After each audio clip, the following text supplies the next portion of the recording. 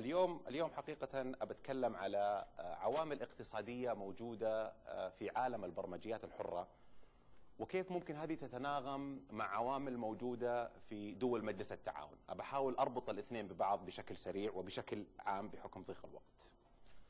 أول شيء أبغى أبتدي بالأربع حقوق اللي معروفة للبرمجيات الحرة. ومن طرائف الأمور أني البارح كنت أقرأ وثيقة تتكلم على وزارة الدفاع الأمريكية. وكان الكاتب يتكلم كيف أنه وزارة الدفاع تستطيع أنها تستفيد من البرمجيات الحرة أنها تقدر تستخدم البرامج آه، تقدر تدرس البرامج عشان تعرف البرنامج هذا كيف يشتغل تقدر إنها تعدل في البرنامج وتقدر إنها توزع البرامج لدوائر حكومية أخرى. بشكل آخر حقيقة الرجل كان يعيد صياغة حقوق آه، البرمجيات الحرة الأساسية اللي موجودة. فكان بس ركز انتباهي كيف أنه ممكن حقيقة هذه الحقوق أنها تطبق في أكثر من مكان في أكثر من مجال وتكون فوائدها جمة. الآن في أربعة فوائد ناخذها من تطبيق آه، الأربعة حقوق اللي ناخذها من البرمجيات الحرة. وأول واحد اللي هو التمكين اللي هو الامباورمنت وبحكم إنه في البرمجيات الحرة عندنا القدرة إن إحنا نختار سواء نختار البرنامج أو نختار كيف يعمل البرنامج أو نختار كيف نعدل على البرنامج. هذا حقيقة آه، يرفع مستوانا يخلينا leverage ال situation حقتنا إحنا آه، على أساس نقدر نتعامل مع البرمجيات بشكل أفضل ولا نكون آه، في حالة استقبال ال vendors. لأنه كثير الآن من المنشآت تشكي من ال vendor lock-in وال vendor lock-in الكل يعرفه إنه أنت تشتري منتج من من مورد وتشتري منتج آخر وثالث ورابع وفجأة تجد نفسك لا تستطيع إنك تشتري أي منتج آخر إلا من هذا المورد عشان عندك compatibility issues فحقيقة البرمجيات الحرة تعطيك ال empowerment إنك أنت تقدر تختار وتقدر تطلع من الحالة هذه وتكون في حالة حرية كاملة. الفائدة الأخرى اللي نأخذها منها اللي هي skill development تطوير الذات. ومن منطق البرمجيات الحرة انها تحفز الناس على المشاركة. تبغاك تشارك تبغى الناس تتفاعل وتتشارك مع بعضها تبغاك تحط ال input حقك آه، على أساس تقدر تاخذ input ثاني. وهذا بدوره يصقل الموهبة عند الناس ويخلي آه، يخلي ال input حقك أفضل يخلي موهبتك أنت وقدرتك أنت تتطور بشكل أفضل فينعكس بشكل كامل على ال skill حق المستخدمين. وهذه نشوفها في مجتمعات البرامج الحرة. كل المجتمعات حقت البرامج الحرة نلاقي الأعضاء حقونها فعالين بشكل كبير جدا. الكثير اللي يزوروا المنتديات آه، قد نكون ملينا من منتديات لما تدخل منتدى تلاقي العالم كل شخص يشكر الآخر وشكرا وشكرا وشكرا. هذا غالبا ما تشوفه في في منتديات البرامج الحرة لأنه الناس تحب تحط input input حقيقي input له قيمة. آه ليش؟ لأنه ال skill حقه صار أفضل الآن فعنده شيء يقوله عنده شيء يضيفه. آه الفائدة الثالثة اللي نأخذها منها ال security هذه بديهية يا إخوان. ال security تجي من كذا جانب. تجي من جانب إنه إحنا نستطيع إنه إحنا نشوف ال source code نستطيع نشوف البرنامج هذا كيف يشتغل بحذافيره فنعرف ال back doors أي suspicions أي ريبة أو شك عندنا نستطيع إن إحنا نتحقق منها ونتأكد منها باطلاع جانب آخر برضه لل security إنه لو لا سمح الله البرنامج هذا نرى فيه عيب أو نرى فيه ثغرة عندنا القدرة إنه إحنا نغير فيه ونعدل فيه كيف ما رانا مناسب. والفائده اللي ناخذها منه الأخيرة اللي هو ال financial benefit الفائدة الاقتصادية. وهذه برضه لها أكثر من جانب. مثل ما الأخ أنس تفضل إنهم استطاعوا إنهم يستفيدوا من برمجيات كثيرة بدون ما يدفعوا تكاليف في جانب آخر برضه بحيث إنه صغار المستثمرين أو أو المنشآت الجديدة تستطيع إنها تأخذ البرمجيات الحرة وتبني عليها لأنه بكل بساطة ال open source هو البناء على نجاح الآخرين. دائما يقولوا open source is building on the success of others. ففيها فيها فوائد كثيرة اقتصادية. الآن نبغى نشوف بعض خصائص دول مجلس التعاون خصائص عامة وبشكل عام نبغى ننظر لها. آه، إحنا معظم دول التعاون مجلس دول التعاون مجتمعات مكونة من من آه، آه، أعمار صغيرة مجتمعات الاعمار أعمار المجتمع عادة صغير. حقيقة ما عندي رقم كان عندي رقم هنا لكن أذكر ما كنت غلطان إنه ال average حق الأعمار من 15 إلى 35 roughly كان 60% فهذا هذا رقم كبير جدا جدا جدا مقارنة بالدول الأخرى. آه، نلاحظ برضو في مجلس دول التعاون إن إحنا في ترابط كبير بيننا وبين ثقافتنا وحضارتنا، نستخدم اللغة العربية كثير جدا آه، إلى درجة انه لوحات السيارات كانت عربي فقط ما كانت عربي وإنجليزي، فعندنا عندنا استخدام كبير جدا للغة العربية. ال internet penetration آه، نمو استخدامنا للإنترنت عالي جدا مقياسا بدول العالم الأخرى.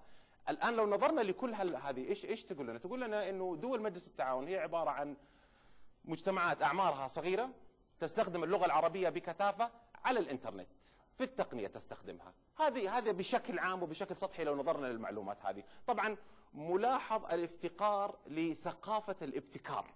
آه للحمد في الفترة الأخيرة بدينا نلاحظ بعض البرامج اللي أدرس ال issue هذا وتحاول أنها آه تتغلب على المشكلة هذه. و hopefully أنه إن شاء الله مع الوقت هذا ما حيكون مشكلة عندنا وحتكون عندنا في ثقافة للابتكار لأنها تساعد كثيرا على نمو المجتمع. فهذا ال socio economic منظور عام لل socio economic في دول مجلس التعاون. الآن برضو characteristics في ال ICT cluster ال information technology cluster نلاحظ إنه هذه دول دول مجلس التعاون بشكل عام. نلاحظ إنه في اعتماد أساسي على ال proprietary software على البرامج المحتكرة ال foreign الأجنبية. معظم القطاع يستورد البرامج المحتكرة من برا. نلاحظ أنه في ضعف لتطبيق آه، أنظمة آه، الملكية الفكرية. وفي عدم فهم حقيقة اجتماعيا. كثير من الناس يرى أنه استخدام البرنامج المسروق ما هو مشكلة كبيرة أنا كل اللي أستخدمه سي دي. ففي في ضعف حقيقة لفهم المعلومة هذه. نلاحظ أنه ما في عمل فعال للمشاركة في الاقتصاد العالمي فيما يخص التقنية. دول مجلس التعاون ما هي مشاركة فعالة في الاقتصاد العالمي. ما لنا وجود حقيقة. في نفس الوقت نلاحظ نمو كبير جدا للترابط ما بين المجتمعات وما بين التقنية والإنترنت بشكل عام، الإنترنت وال IT culture هذا بدأ يظهر عندنا، صرنا نسمع podcasting، صرنا نسمع social community، صرنا نسمع كثير مننا يستخدم tweeting ويستخدموا فيسبوك ونستخدم الآيفون، نستخدم الأندرويد، ف الكلام هذا كله إيش يقول لنا يا إخوان؟ يقول لنا إنه في طاقة كبيرة، في توجه كبير من المجتمع ولكن ما في mechanism in place إنها توجه الطاقة هذه بشكلها المناسب، طبعا في تكلفة عالية للبرمجيات. هذا ما هو issue كبير في المنطقة هذه من العالم، still it is an issue لكن ما هو issue كبير. الآن الخصائص حقت القطاع العام في ال GCC نلاحظ إنه القطاع العام في ال GCC عندنا له تأثير كبير على القطاع الخاص. في نفس الوقت له تأثير كبير على المجتمعات وعلى التعليم مباشرة. آه نلاحظ برضو إنه القطاع العام هو the largest single purchaser أكبر مشتري أكبر مشتري للتقنية. وهذا يؤثر بشكل كبير في سوق التقنية. آه نلاحظ برضو إنه القطاع العام هو اللي يتحكم بال R&D هو اللي يخصص ال R&D هذه فين تروح. آه هذا إيش يقول لنا؟ يقول لنا يا إخوان إنه ال public sector هو vehicle ممتازة جدا لتوظيف ال open source. بحكم ال influence بحكم الطاقة بحكم ال integration اللي هو عامله هو vehicle ممتازة جدا لدعم ولنشر ال open source طبعا ال open source ال public sector بشكل عام ما هو adventurous وهذه من طبيعته وهذا هذا normal هذا معروف لأنهم ال public sector حريص في انتقاله من خطوة لخطوة. الآن خلونا ننتقل بشكل سريع وننظر ل economic factors لل open source ال open source builds capacity يبني القدرات. وهذا طبيعي لأنه يسمح للمطورين وللمستخدمين بالاطلاع على البرمجيات. كيف تعمل البرمجيات؟ آه، كثير مننا له في التقنية وفضوله يدفعه إنه يقرأ عن برنامج معين يقرأ ال source code كيف يشتغل آه، يقرأ عن جزئيات معينة. فهو يسمح لك إنك أنت تسوي الشيء هذا. ال methodology حقت ال open source تحفز على المشاركة. تحفز الناس إنه شارك. نعم تفاعل مع الناس. لا تصير passive لا تصير فقط تأخذ تستخدم وتصير passive حتى المستخدم كثير من الناس ينظر إنه المستخدم ما له دور فعال. غير صحيح المستخدم له دور فعال جدا. ليش؟ لأنه المستخدم يساعد مستخدم آخر ال developer يساعد developer آخر ال debugger يساعد debugger آخر وهكذا. فكل شخص له input ياخذ ياخذ output ويضع input هذا شخص فعال وله دور. ال peer review آه بالعربي ما عندي فكرة. آه ال peer review آه مراقبة الند. هذه مهمة جدا يا أخوان لأنه وجدوا حقيقة إنه ال peer review هو عامل مهم جدا وفي وفي كثير من الأحيان هو أهم من إنك أنت تدفع فلوس لل developers. وجدوا إنه ال peer review حقيقة قريت كثير من ال reports تقول إنه ال peer review هو إذا كان في محرك أساسي ورا ورا التبرعات اللي يسوونها المطورين لل open source فهو ال peer review غرورنا إنه إحنا نبغى زملائنا ونبغى أساتذتنا ونبغى الناس مثلنا العليا ينظرون لنا إنه إحنا منجزين إنه إحنا أنجزنا شيء. هذا يحسسنا بالفخر والاعتزاز. هذا عامل مهم. في نفس الوقت لأنه نعرف إنه في peer review نعرف إنه في شخص آخر يبغى يطلع على عملنا نحاول قصارى جهدنا إن نضع أفضل عمل ممكن علشان ما ينتقد العمل هذا. وعلشان كذا تجد في كثير من الأحيان إنه ال open source ال security في ال open source it's an afterthought لما نجي نتكلم على أنظمة أخرى تلاقي دائما ال security هاجس ودائما نتكلم فيه. في ال open source حقيقة موجود بس it's an afterthought ليش afterthought يا أخوان؟ afterthought لأنه في peer review ال developers لما عملوا البرنامج هذا ثلاثة أربعة خمسة ستة سبعة سنوات اجو في ال peers حقونهم زملائهم أساتذتهم أشخاص آخرين اطلعوا على الكود اطلعوا على البرنامج وصارت في pinpoints العيوب فصارت ال security it's an afterthought ما عاد هي بشيء هاجس ننقله معانا. ال peer review واحد من الأشياء المهمة جدا هنا.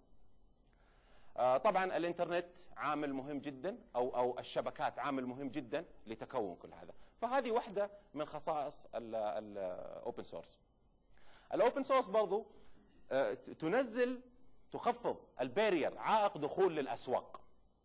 لأنه لأنه أساسا في جوهرها ال open source ضد ال monopolistic ضد الاحتكار.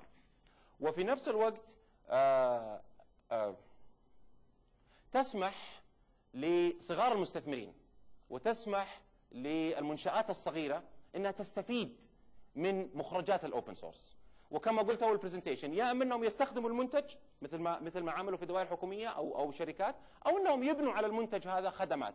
واحد من ال success stories العظيمه اللي نشوفها في المجال هذا فيسبوك فيسبوك معظم ال product حقه مبني على open source actually فيسبوك كل ستة إلى ثمانية شهور يعملوا snapshot لل open لل source code حقهم ويضعوه اونلاين ويكيبيديا جزئية ثانية. فهي تسمح لصغار المستثمرين إنه يدخل للسوق، ليش؟ المنتج موجود، صغار المستثمر ما عنده فلوس يستثمر، ما عنده فلوس يروح يجيب مايكروسوفت ويجيب اوراكل ويجيب صن راحت صن يجيب IBM ويجيب غيرهم، ما عنده فلوس يسوي الشيء هذا، لكن عنده ال product موجود اونلاين، يقدر ياخذه، يقدر يحاول بما عنده من قدرة إنه يعدل فيه ويشتغل عليه، وشفنا أمثلة كثيرة جدا ناجحة عليه.